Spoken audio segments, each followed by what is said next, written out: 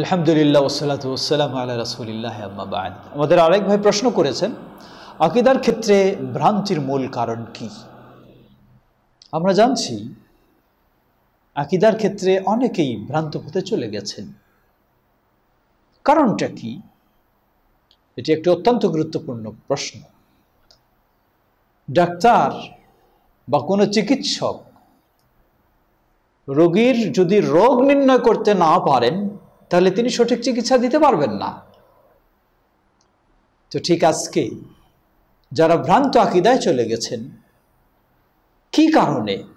এটা যদি নির্ণয় করা না যায়, তাহলে এই ভ্রান্ত পথ থেকে মুক্ত হওয়াটা খুব কঠিন। এজন্য প্রশ্নটি অত্যন্ত গুরুত্বপূর্ণ। আমরা শর্ট সময়ের মধ্যে উত্তর দেওয়ার চেষ্টা করছি। আকিদার ক্ষেত্রে ভ্রান্তির মূল কারণ হচ্ছে এর আগেও আমরা আলোচনা করেছি, আকিদা গ্রহণের উৎস ভ্রান্ত হওয়ার কারণে আকিদার ক্ষেত্রে ভ্রান্ত পথে চলে যায়।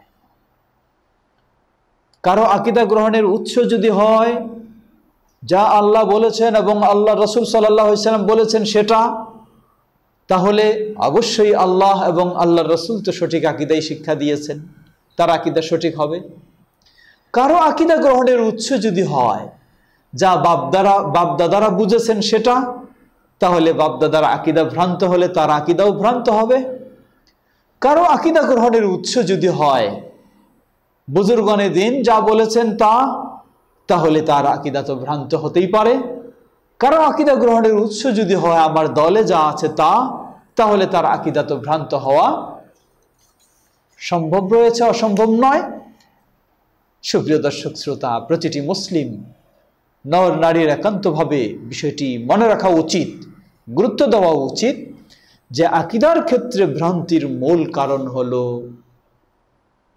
আকিদা গ্রহণের উৎস ভ্রান্ত হওয়াই। অর্থাৎ ধরে নেন, সহজ কথা।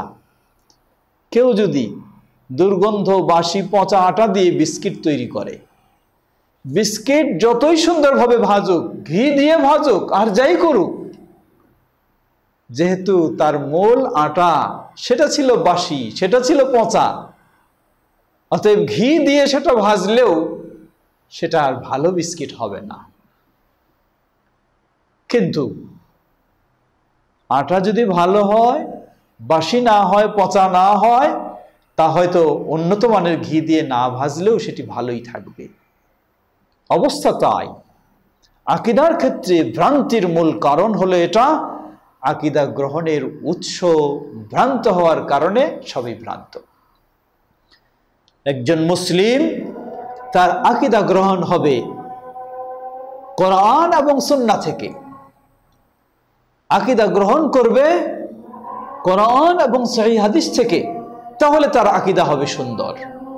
যদি কোরআন ও সহি হাদিস থেকে না গ্রহণ করে, তাহলে তার আকিদা কখনোই সঠিক হবে না। ঠিক অন্যভাবে আমরা বলতে পারি, এখানে আকিদা গ্রহণের উৎস তিনটি, সার্বিকভাবে যদি হয়। যদি আল্লাহ সুবাহর বিষয়ে এবং গাইবী বিষয়ে হয়, তাহলে দুটি। তাহলে কোরআন এবং সহি হাদিস। আর যদি সার্বিক বিষয় হয়, তাহলে তিনটি। তাহলে কোরআন এবং সহি হাদিস। আর তৃতীয় বিষয় হলো ইজমা ও সাহাবা। যেমন খোলাফায় রাশিদিনের বিষয়ে আকিদা গ্রহণ করা, সেখানে সাহাবাই কেরামের ইজমা, সেটিও আকিদার একটি উৎস।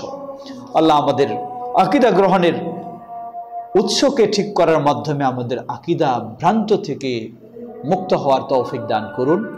আমিন। ওয়াখির দাওয়ান আলহামদুলিল্লাহ রাব্বিল আলমিন। ও সাল্লাল্লাহু তাআলা মোহাম্মদ আলা সাহবিহি আজমাইন। আসসালামু আলাইকুম রাহমাতুল্লাহি ওয়া বারাকাতুহু।